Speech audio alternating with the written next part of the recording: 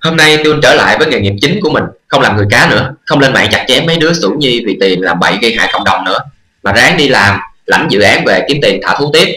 Ngẫm nghĩ Tiêu cũng chẳng xài tiền gì mấy cho bản thân, chỉ vì muốn thả thú để kêu gọi ý thức cộng đồng, giúp các em nhỏ sống có ích cho thiên nhiên và động vật, nên phải vất vả.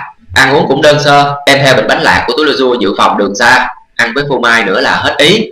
Sẵn giới thiệu cho những ai hay đi làm xa giống Tiêu ăn cách này cho nó khỏe nha các bạn mới 7 giờ sáng phải bay ra Hà Nội. Đi một chuyến vậy tốn gần chục triệu. Người ta hài lòng ký hợp đồng với mình thì được trăm triệu. Rồi chịu khó mỗi ngày như vậy thì bạn nghĩ một tháng tôi kiếm được bao nhiêu tiền? Nhưng thật sự rất mất thời gian và cũng hên xui lắm. Mà phải ráng đi thôi làm tiên cá có sức khỏe nhiều để làm gì, đúng không? Chủ yếu là để phục vụ cho lợi ích cộng đồng, thiên nhiên, động vật và các đệ tử là chính. Nên cho dù giỏi và tài năng, kiếm được nhiều tiền cũng rất khó trong cái thời buổi môi trường càng bị hủy hoại như ngày nay. Chỉ có người xấu làm chuyện xấu mới kiếm tiền dễ dàng. Trên mạng nói mấy lời ngọt ngào liếm láp cho tội lỗi của mình, rồi dụ dỗ người này người kia nghe theo. Nhưng cứ nhìn bản mặt của họ là biết rồi, tâm sinh hình tướng.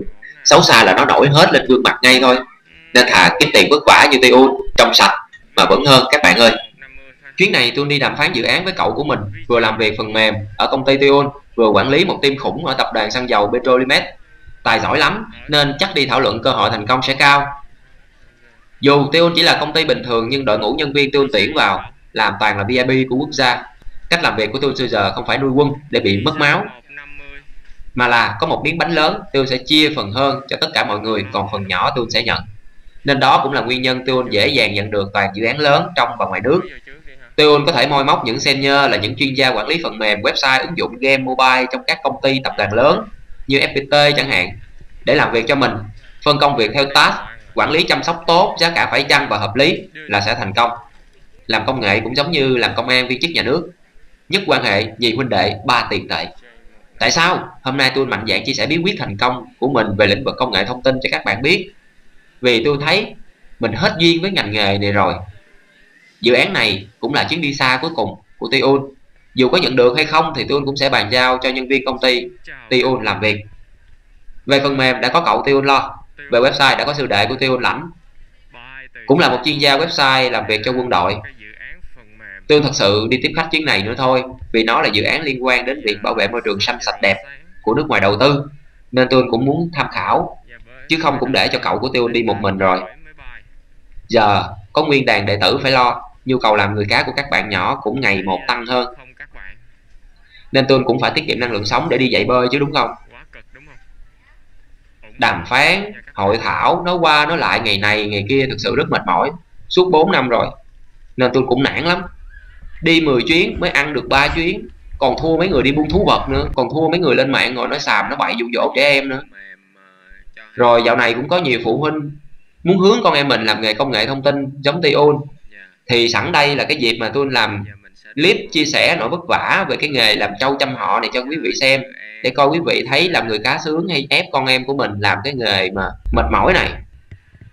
Cứ nghĩ học code, học thiết kế web, đi làm kiếm tiền ngon cơm là được. Đại gia đúng không?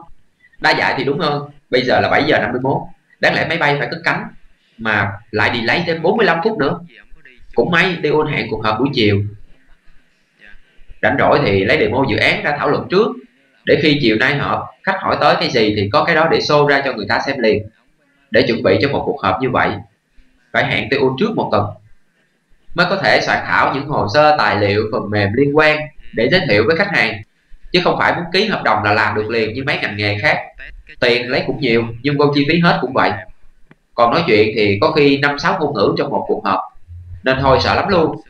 Không chuẩn bị kỹ, vô đó nghe khách chặt mà không chém được là ngồi đơ một cục đúng quê luôn kinh nghiệm cũng 6 năm rồi. Nhưng lúc nào đi đàm phán cũng như mới ra trận lần đầu. Vì làm ngành công nghệ, mọi thứ luôn thay đổi mỗi ngày. Phần mềm, website cũng có sự sống. Nó luôn cập nhật mới mẻ theo thời gian. Nên làm nghề này bạn phải luôn lo nghĩ, toan tính cách đối phó đủ điều. Viết một phần mềm phải đảm bảo tính an toàn, bảo mật, chính xác, hiệu suất cao trong công việc. Thì mới vừa ý khách hàng. Đó cũng là lý do điên đầu của tiêu khi được mệnh danh là chuyên gia thiết kế website phần mềm quảng cáo đồng ý một lời mời hợp tác là tôi phải tập trung tinh thần 100% để xử lý mọi tình huống khó có thể xảy ra. Phải nghĩ ra sẵn luôn câu hỏi người ta sẽ dành cho mình, giống như khả năng phán đoán trước diễn biến sự vật của loài rái cá vậy đó các bạn. Nên mà làm cái này thì tôi khó lòng mà có thể chăm sóc được cho đàn cá em rồi đi thả thú. Nên lâu lâu là một cuốc thôi, chứ tiêu mà làm hoài cái này mỗi ngày thôi. Không chịu nổi, không làm được mấy cái gì khác luôn. Bởi vậy làm ngành công nghệ là phải có sức khỏe và trí tuệ tốt, chứ không làm vài năm là đứt bóng hoặc bạc trắng đầu mấy cái em mà học ngành công nghệ thông tin cũng xem tôi làm bài học đi nha. Khó dễ kiếm ăn lắm chứ không dễ như mấy em nghĩ đâu. Đi làm ra trường thì mấy em kiếm cũng khoảng năm bảy triệu thôi. Hai năm sau thì kiếm được 10 triệu mà em nghĩ 10 triệu một tháng với cái lượng công việc nhiều như vậy, mệt mỏi như vậy em sống nổi không? Làm cái ngành nghề công nghệ ở Việt Nam chắc chắn sẽ bị chảy máu chất xám rất là nhiều. Nếu không có điều kiện ra nước ngoài làm việc thì tốt nhất nên chọn cái nghề khác thật sự là không cần phải phát triển công nghệ đâu. Một quốc gia phát triển nên đẩy mạnh việc du lịch thiên nhiên và động vật. Chúng ta bảo tồn môi trường xanh sạch đẹp thì cuộc sống chúng ta thoải mái hơn các em ạ. À. còn tôi đã lún sâu vào cái ngành nghề này quá rồi vứt ra cũng không được. Gần một ngàn khách hàng mà phải quản lý. Nên công ty của Tiêu bây giờ Tiêu không làm nổi thì cũng có người khác quản lý chứ Tiêu không thể bỏ được nữa. Công việc rất là vất vả chứ không đơn giản đâu VJ 150 8 giờ 55 Bây giờ chuyến bay của mình đã khởi hành Mọi người đã xếp hàng để chờ Lên máy bay Chờ xí chỗ ngon để ngồi hả Thấy cảnh đi làm ăn xa mệt mỏi chưa các bạn? Muốn theo nghề công nghệ thông tin này thì cần phải có nhiều sức khỏe đó nha. Đáng lý, làm cuộc họp online cũng được nhưng phong cách của Tiôn đã ok là sẽ làm hết mình. Tiếp khách nhiệt tình mới hiểu rõ vấn đề và còn phải quan sát xem họ có làm đúng như lời họ nói không. Nên chỉ có cách là gặp tận nơi. Vì tình hình kinh doanh ở Việt Nam bây giờ hay treo đầu dê bán thịt chó lắm. Có khi giúp khách hàng thành công xong họ quay lại muốn bắt mình làm ô xin nữa. Ngộ thiệt làm việc cho người thường giống như họ không biết ơn hay sao ấy. Rồi mấy em đệ tử học bơi người cá với Tiun cũng vậy. Dạy cho lên level. Rồi cũng muốn Tiun làm phục vụ cho các em ấy luôn. Mỗi em đặt cho Tiun một cái tên khác nhau như là vú em tập sự, vú em làm thầy, vú em học việc, vú em cao cấp. Cái kiểu như vậy đó Tiun mà đã làm việc cho ai thì họ cũng đều muốn. Tiun làm ô xin cho họ hết. Hơi bị xa. Nếu mà đi taxi thì quá dễ dàng nên sẽ trải nghiệm một cảm giác. Đó chính là đi ờ, đi xe bus ok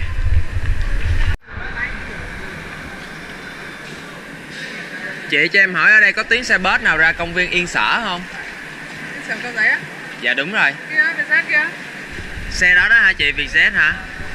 Đợi. Ok. Em cảm ơn chị. Ra ngoài đây là đứng đợi. Nội bài đến trung tâm hà nội.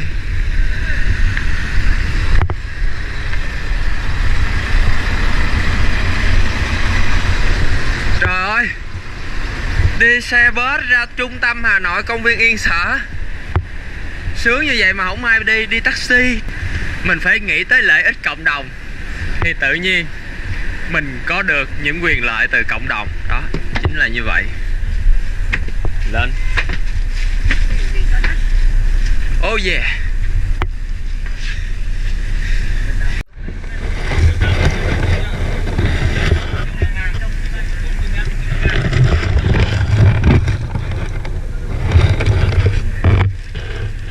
Đi xe bus này có free wifi luôn.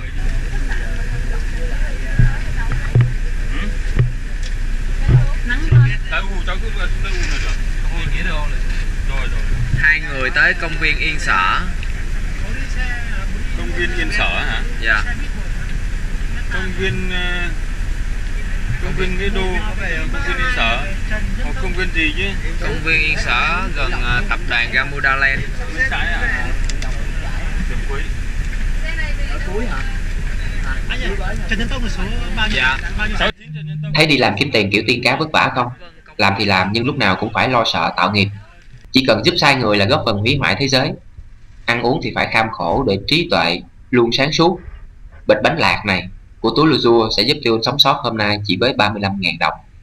Hà Nội đang được mệnh danh là ô nhiễm nhất Việt Nam nhưng thấy quan cảnh ở ngoại ô thiên nhiên còn nhiều nên cũng mừng.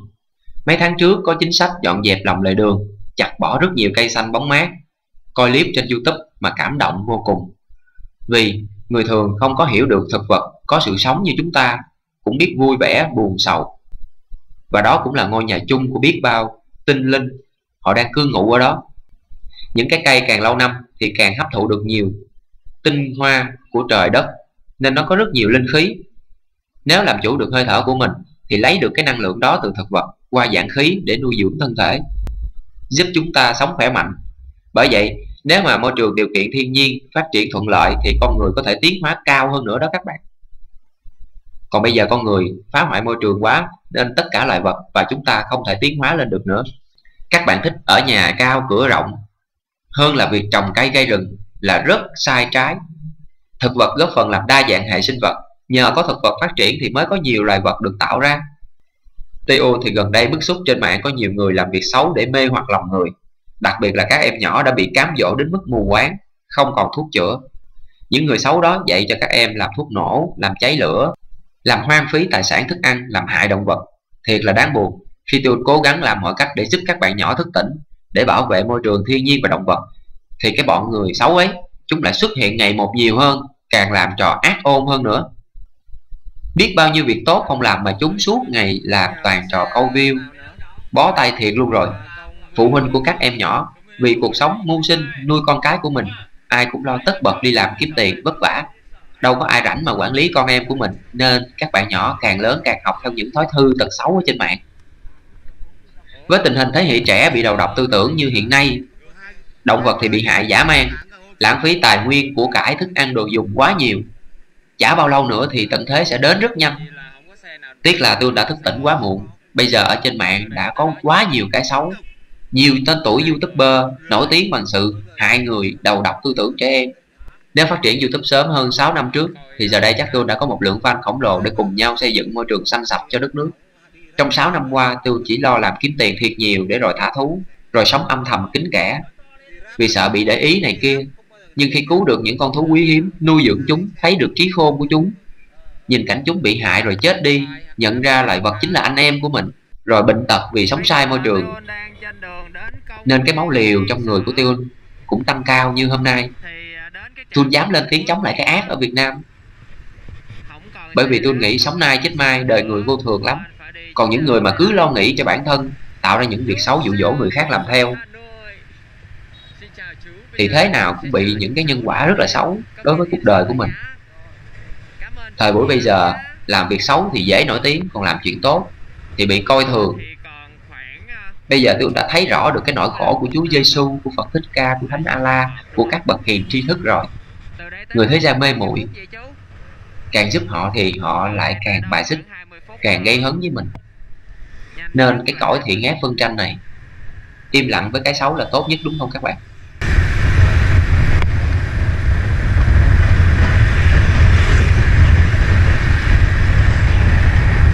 cái hồ này hồ gì bự vậy chú? Cái này là công viên thống nhất.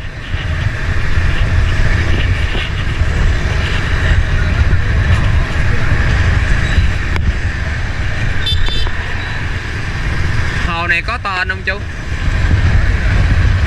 Tên gì? Hồ công viên thống nhất. Ờ. Sài Gòn ờ, Nội giống như quê mới lên, không biết gì chưa ai nói sao nghe vậy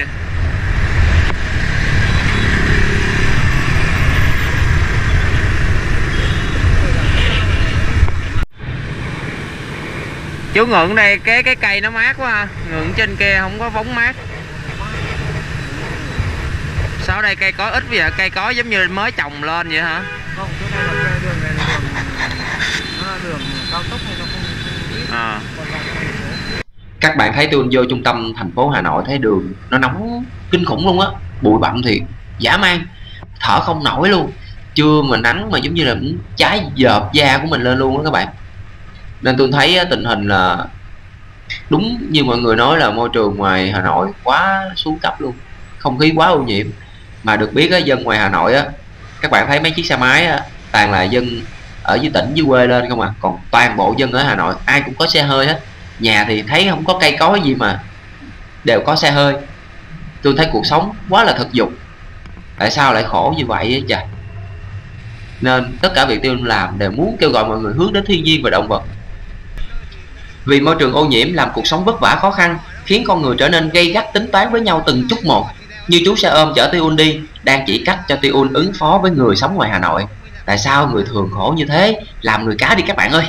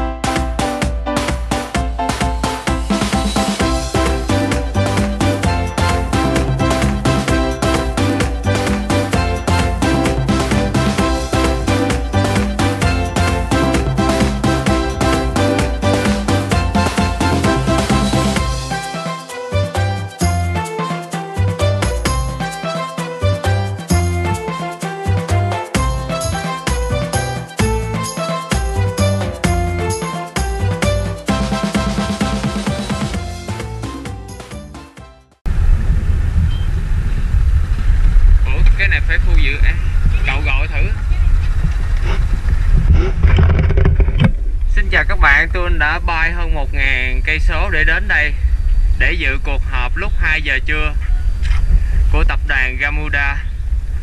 Thì ờ, đây là khu dự án, nãy giờ các bạn cũng có thể thấy rồi, đúng không? Nó rất là to và bự. Bây giờ phải gọi cho mấy người ở đó để nói chuyện. Chứ tới đây là bó tay luôn rồi. Cái khu dự án quá bự hả dạ bây giờ mình sẽ đi đến khu văn phòng. Công nhận đi xe ôm nắng nôi bụi bặm dễ sợ. Bởi vậy dù biết mấy chú xe ôm ở Hà Nội là chuyên gia chặt chém Nhưng tôi vẫn vui vẻ chấp nhận. Nhưng tôi vẫn vui vẻ chấp nhận không đi xe ráp Để có cơ hội tìm hiểu đời sống của các chú. Tiêu đã tập sống đơn giản, khổ hạnh nhiều năm nay. Người ta nói Tiêu là số 1 ở Việt Nam. Vì đã thành công trong sự nghiệp IT Khách hàng toàn là những công ty tập đoàn lớn quốc tế Nhưng tất cả việc làm đó đều hướng đến bảo vệ thiên nhiên và động vật nên cái Tiêu nhận được luôn là số 0. Có nhiều người được xuất hiện trên báo chí là đại gia. Họ được so sánh với những khối tài sản kết xù, xài hoài không bao giờ hết. Nhưng suy nghĩ kỹ nếu họ đem đi thả thú rồi có thể tha thứ, bỏ qua một cách dễ dàng giống như Tiun thì chắc chắn họ sẽ trắng tay nhanh chóng. Nếu biết quan sát, bạn sẽ thấy sự thành công của các đại gia này là đánh đổi bằng sự hy sinh của rất nhiều người, của rất nhiều vật. Tiền của càng nhiều thì nghiệp chướng sẽ càng nặng. Thấy các youtuber ở Việt Nam không? Muốn kiếm được tiền dễ dàng họ phải lên mạng nói dối, lừa gạt lòng người Làm những trò chơi không tốt để thu hút các bạn xem Sự ủng hộ của các bạn giúp họ có được tiền để tiếp tục làm việc xấu Để họ lún sâu hơn vào cái ác Còn Tiun khi trở thành youtuber thì thế nào? Tất cả tiền của các bạn Tiun đều trả lại Bằng sự tận tình hy sinh thời gian của mình Để giúp thiên nhiên, giúp động vật, giúp người thường trở thành người cá cái tiền thả thú của Tiun còn nhiều hơn gấp chục lần tiền YouTube trả cho Tiun hàng tháng mà điểm danh các youtuber kiếm tiền giỏi ở Việt Nam hiện nay thì họ toàn là những người sống thực dục và làm trò lố lăng. Thật đáng hổ thẹn khi giới trẻ bây giờ không biết làm việc gì ngoài việc làm bậy để kiếm tiền. Đó cũng là lý do tôi muốn giúp tất cả các em thành người cá để được có nhiều sức khỏe, trí tuệ, tăng trưởng nhiều hơn nữa, thì các em sẽ không còn nô lệ cho cái tiêu cực. Tất cả những dự án mà tôi làm hiện nay sẽ giúp cho các em có được một cuộc sống tốt trong tương lai. Đó là hòa mình với thiên nhiên. Nhưng nếu các em không ủng hộ Tiun thì các em hãy chuẩn bị một tương lai bất hạnh đang đến với quốc gia của chúng ta, đến với các em và gia đình của mình.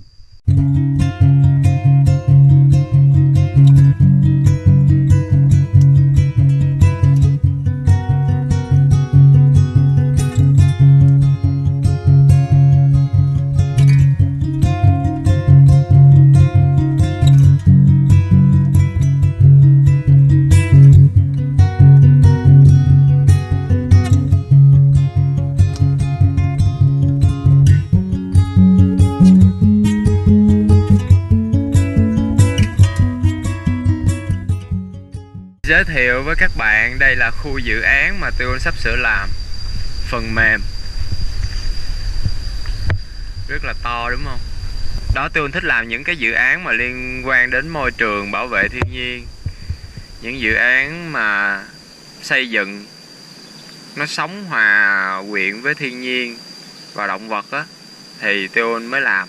Nên tôi rất khó nhận dự án ở Việt Nam, bởi vì phải đợi những cái nhà đầu tư họ có tâm một chút mình mới làm việc với họ được. Nếu họ không có cùng chí hướng với mình mình không có thể nào mà làm việc giúp cho họ được. Bởi vậy rồi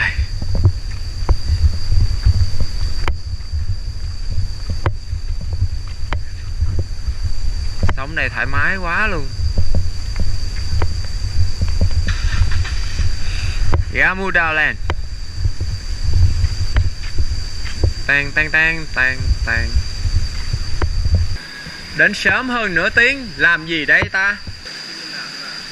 Ngồi đợi thôi. Em cao một mét mấy vậy? Mét tám dáng đẹp quá ha. Rồi ở ngoài Hà Nội dáng ai cũng đẹp giống em vậy hả? Đúng không? tại em thấy ờ, mấy người mẫu giờ toàn là người Hà Nội không mà thấy anh ra ngoài đây nãy giờ anh thấy nó có nhiều cây xanh hơn trong Sài Gòn hơn á. À. hai Thảo đúng không? Em đó tên là Ngọc đúng không à, cậu? Rồi cái bạn Ngọc đó là hướng dẫn cho mình đến khu trung tâm thương mại. Tới đây ăn uống nhẹ nhàng gì đó, chờ. Trời, chỗ này mà thả thú là tươi luôn nha. Thả hai con khỉ đột đây hai khỉ đột đang đi nè.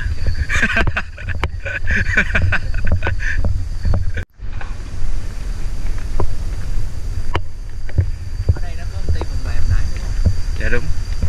Nhưng mà do mình làm phần mềm mà ờ, nên chứ không thôi đúng rồi. Chứ không thôi nó kêu ở đây làm mà đúng không? Thiếu gì công ty phần mềm. Mà tại sao phải chọn tiêu đúng tại sao chọn bởi vì làm việc với tiên vẫn sướng hơn với người thường.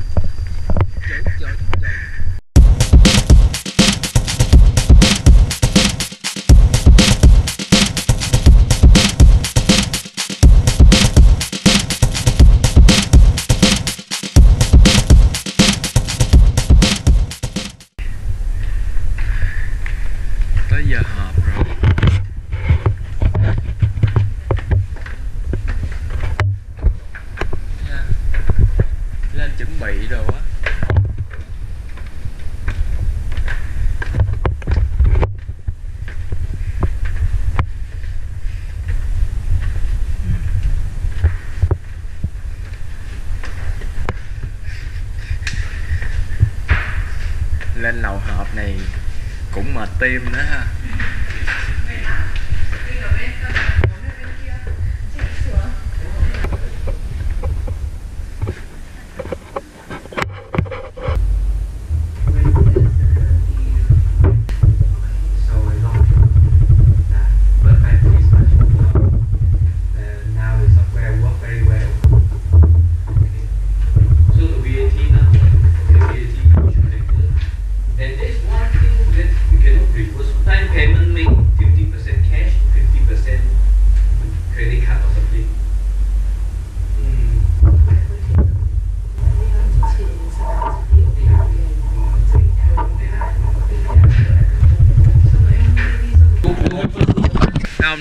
vô họp từ hồi mấy giờ vậy trời?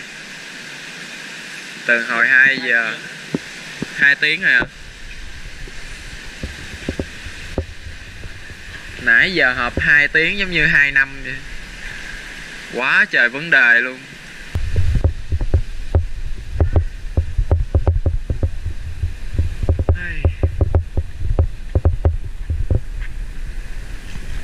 Cuộc sống thơ mộng quá ha ở đây sướng như tiên luôn rồi, còn gì nữa?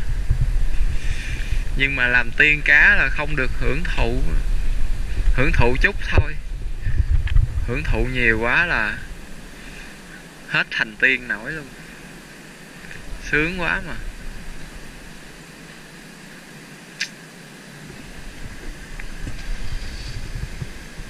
Nhà ở đây xây đẹp không ha?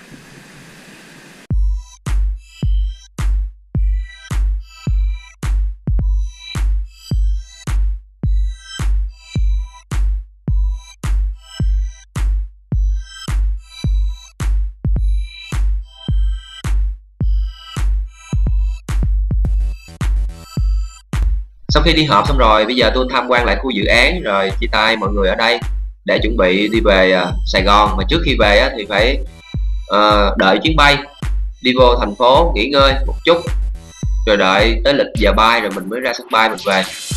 Thì đợi khoảng 18 tiếng nữa.